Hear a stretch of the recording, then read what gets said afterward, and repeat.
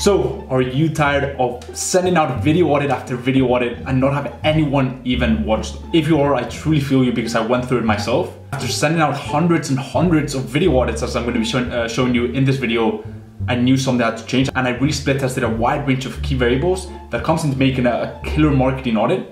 I pretty much tested every single thing until I finally got the right formula and managed to get me a 90 to 95% open rate. This video is gonna be really, really juicy and I hope you guys are ready for it. I'm not only gonna be saving you tens of hours uh, in, you know, making video audits that no one even watches, but I'm gonna be giving you some of the keys that allow me to send out this uh, marketing video audit, have them be watched by prospects and land meetings. And so without further ado, let's get right into it. Five tips to a killer marketing video audit.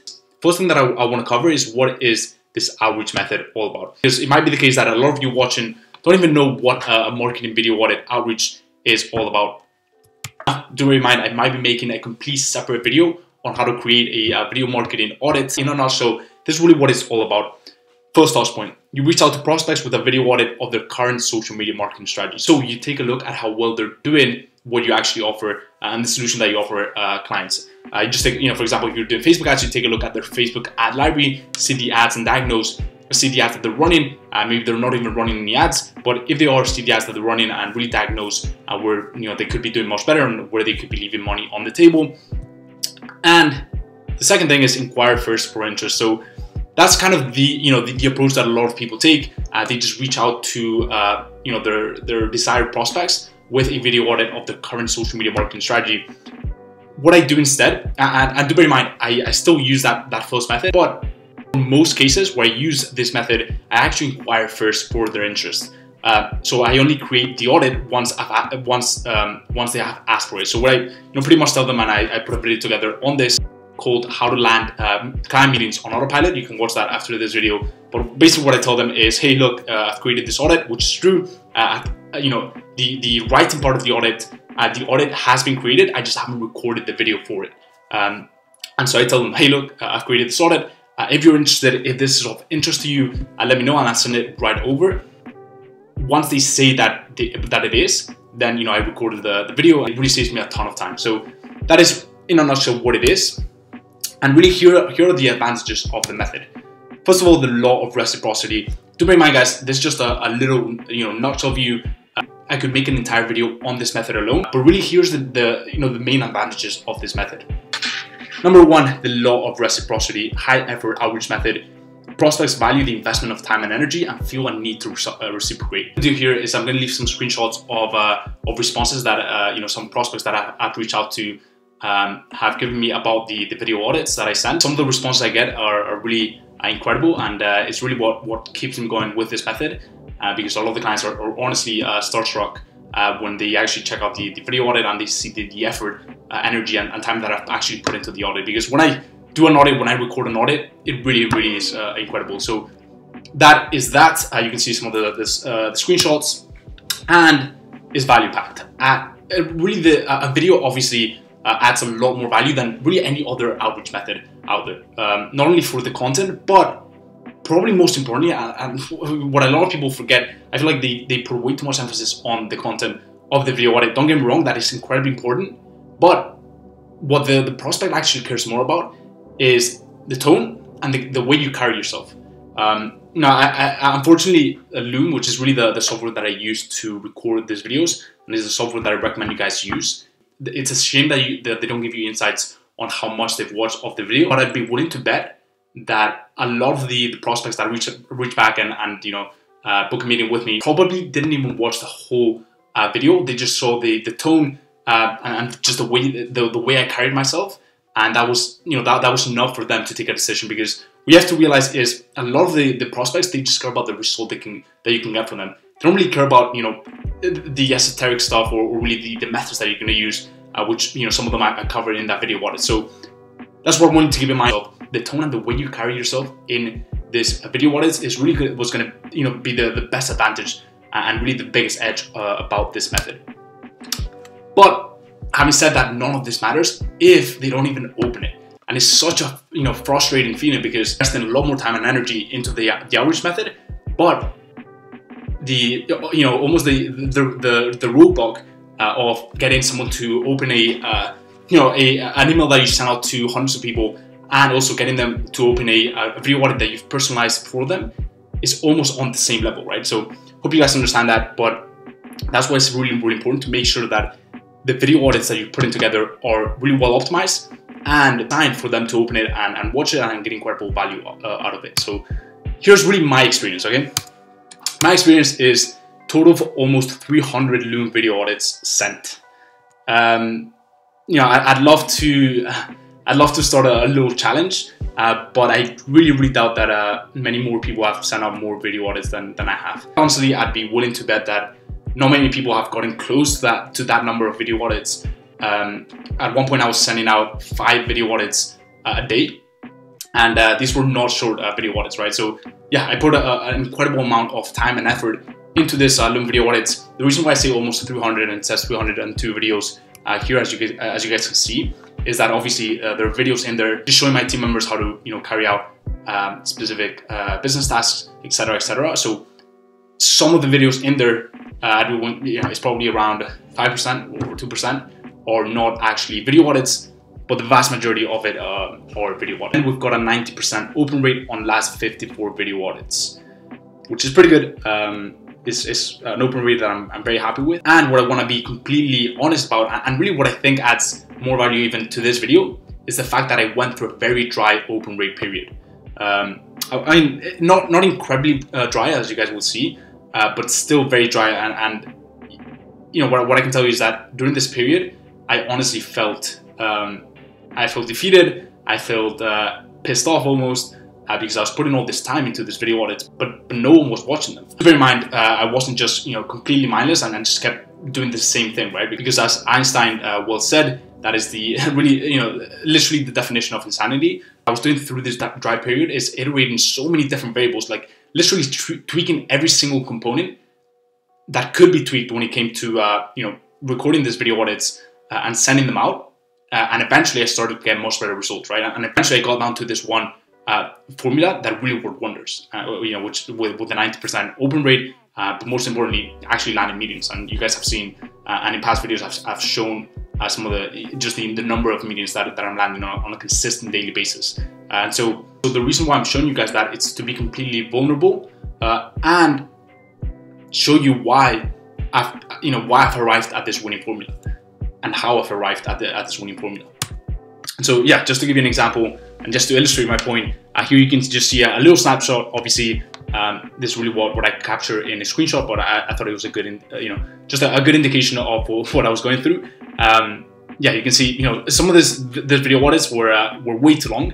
Uh, some of them reaching the 30 minute mark. Um, um, you know, a lot of you will say, well, that is the one thing that that you know that that was costing uh, these people to not open this video audits.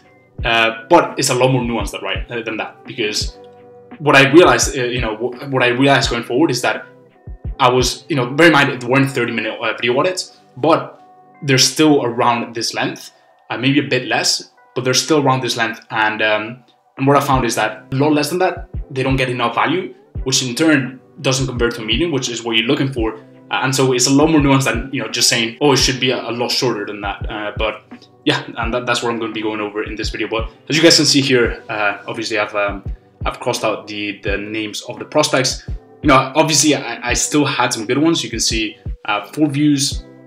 You can see four views here. Uh, you can see two views. Um, what else? Two views here. Three views there. Uh, the ones that you know what I, what I found is the, the ones that have more than you know two to two two and over uh, views usually land a meeting because they they've shared it with their team. Um, and so yeah, the, the ones that just have one view, uh, they don't really turn into into a meeting uh, that easily. They have turned, um, but yeah, as, as you guys can clearly see, it wasn't a, an incredibly good period for me. Here are the things that I learned that turned it around. One, delivery and look. The thumbnail should always be the prospect's website. Start there and then transition into your notes doc if you have one, which I, I really highly recommend. Right? It, it just it gives you it gives you structure. Uh, it also allows the client to see what you're going to cover without you know going the the, the, the full length, which many clients uh, might not want to do. Um, and also include a picture of the video into the email you send out with the video on it.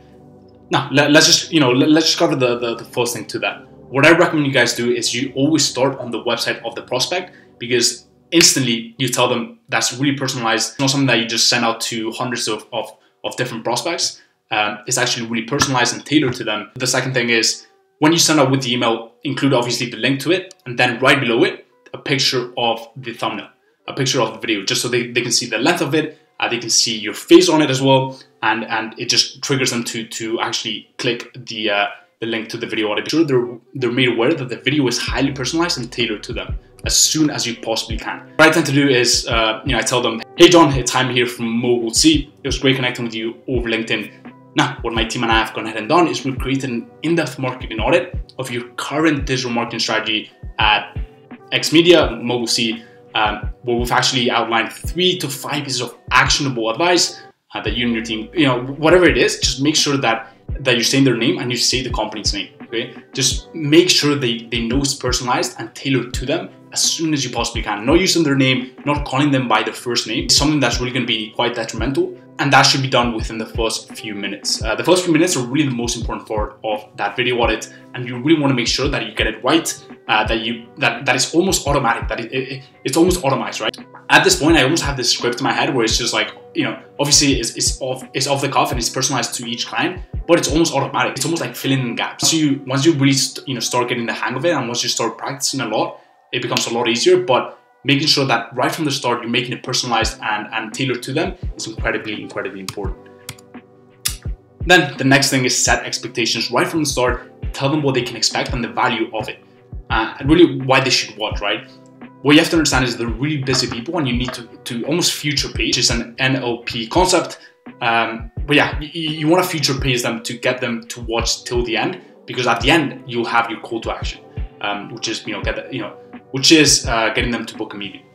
And so what you can tell them is, hey, there's going to be three to five pieces of actionable advice that we're implementing right now, day in and day out, for all of our clients to produce seven and eight figure results. Obviously, whatever it is that, that you got, that you do, and you can also tell them if you have clients already, do not lie, do not uh, you know deceive anyone. But if you have clients already, you can you know kind of brag about it to establish authority. Uh, you can tell them, hey, look, uh, and, and, we're implementing all these strategies uh, for clients like X, Y, Z, whatever it is, right? So that is uh, set expectations. This thing is polarized and contrast.